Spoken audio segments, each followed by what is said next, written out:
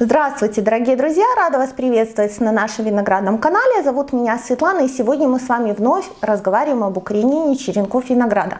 А точнее, мы с вами поговорим о том, а зачем нам все эти сложности с укоренением, с подбором средств, с использованием укоренителей, еще там кельчеватели, еще какие-то штуки, если можно тыкнуть, ну и в общем-то все прорастет.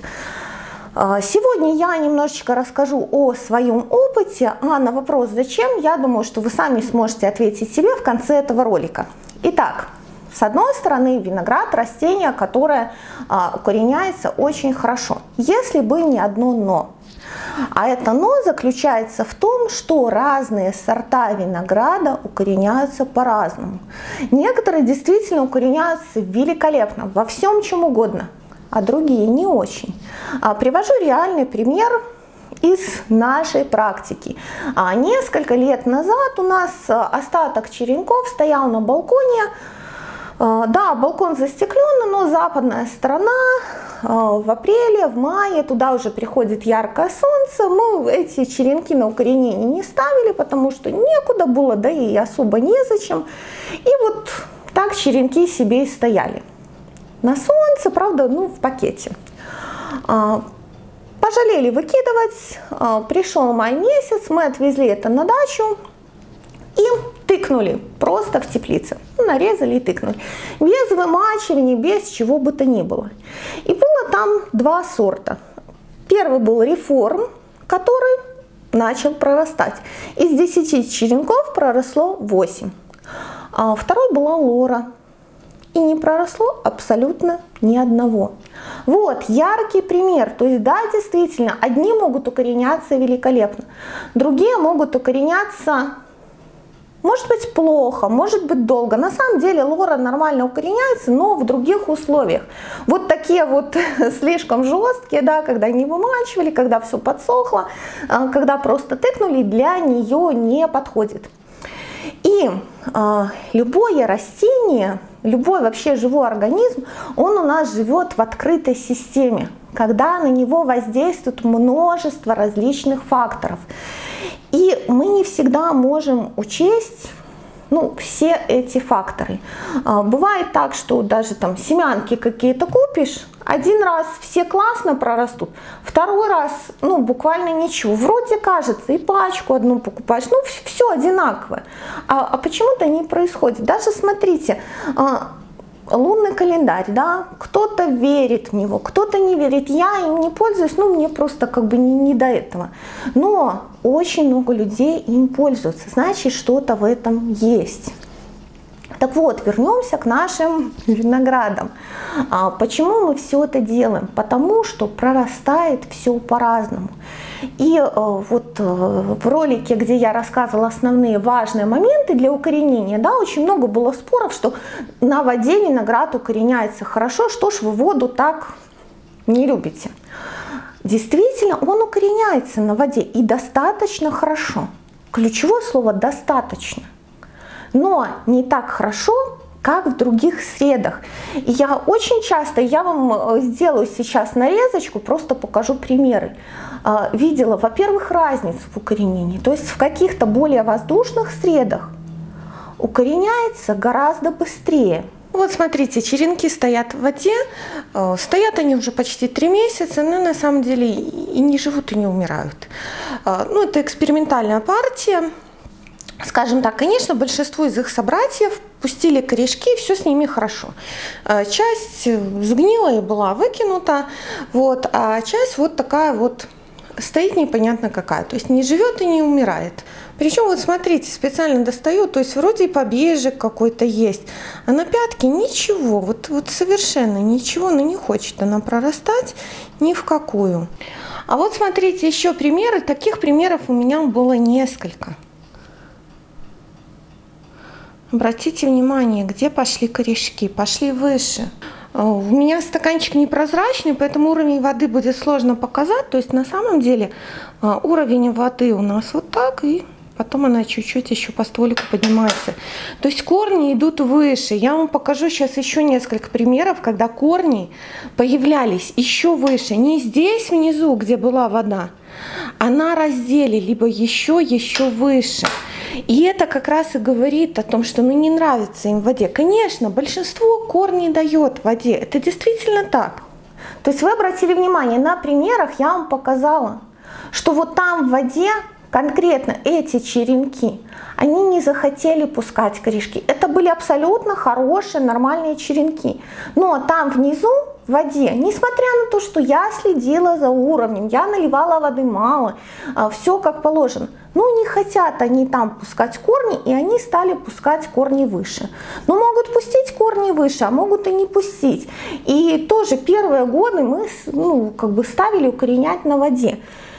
И было и два месяца у меня некоторые черенки стояли, и три абсолютно нормальные, здоровые черенки. И они и не жили, и не умирали. То есть на воде в некоторых случаях, это не значит, что во всех, но в некоторых случаях укореняться может долго и плохо.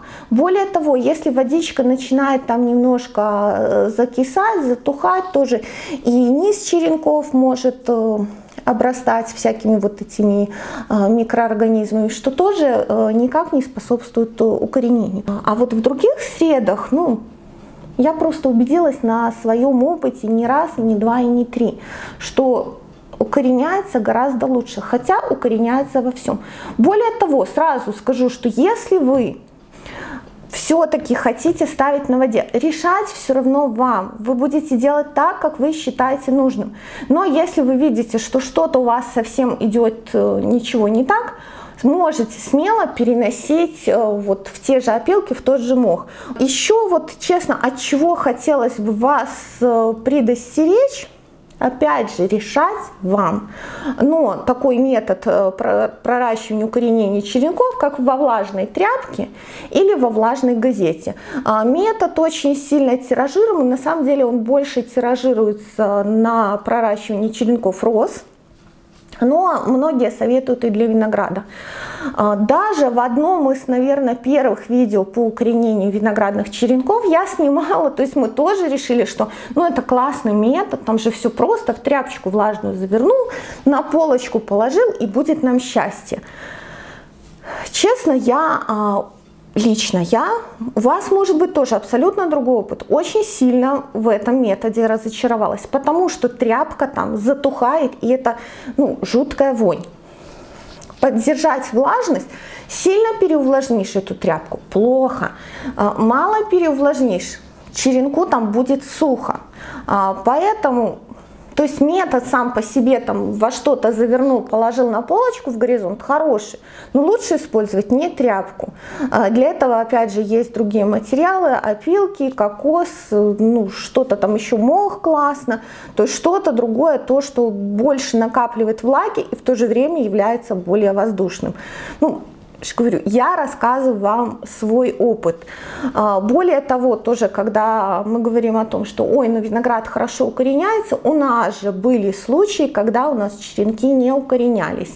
А, один сорт мы покупали два раза, причем никаких вопросов к черенкам, именно к качеству черенков не было. Это были а, замечательные, красивые, хорошие черенки, Два года подряд мы их покупали и не укоренилось совсем. Ну вот что-то не пошло. Тогда мы тоже а, укореняли на воде. А, конечно, может случиться и так, что что бы вы ни делали, а, как бы вы ни старались, какой-то черенок может не укорениться. Напомню, растение всегда в открытой системе. И что на него повлияет в данный конкретный момент – влажность, освещение, температура, ретроградный Меркурий, да, все что угодно. Такое тоже может быть. Но своими действиями определенными мы можем помочь черенку, чтобы ему было укорениться легче. Также все эти примеры, что я там закопал с осени, у меня стало расти, я весной там втыркнул в землю, у меня стало расти. Напоминаю про свой пример, может расти, может не расти. А мы за последних несколько лет ну, испробовали очень-очень много. Что-то работает, что-то не работает. То, что самое рабочее, именно эти способы я вам и показываю. А дальше вам решать, как бы использовать это, либо не использовать. Конечно, если черенков у вас э, достаточно, то можно экспериментировать со всем чем угодно. Если черенков, например, э, ограниченное количество, либо эти черенки дорогие, а есть черенки не просто дорогие, а очень дорогие, то, конечно, желательно приложить э, максимально усилий для того, чтобы этот черенок пророс. Но в любом случае решать вам. Напоминаю еще раз, что каждый сорт винограда укореняется по-разному. Более того, даже в разные годы э, черенки даже одного сорта укореняются по-разному. Иногда, казалось бы, красивые, э, хорошие толщины черенки могут укореняться не очень хорошо, а совсем тоненькие укореняются замечательно. Даже бывает и такое. То есть э, есть факторы, которые мы можем предусмотреть, есть факторы, которые мы предусмотреть не можем. Но что мы можем сделать, это помочь нашим черенкам укорениться. Но повторюсь, решать вам и зачем все вот эти танцы с бубнами, нужны они вам или нет, тоже решаете вы сами. Самое главное, что я хотела донести вам этим роликом, что несмотря на то, что виноград растение, которое замечательно укореняется, все же вы можете столкнуться с определенными трудностями. Ну а кто предупрежден, тот вооружен. На этом я с вами прощаюсь. Большое вам спасибо за просмотр. Подписывайтесь, ставьте лайки, в комментариях пишите свое мнение, задавайте вопросы. Под видео, нажав кнопку «Еще», будет ссылка на каталог наших сортов винограда и мои контакты. И до новых встреч!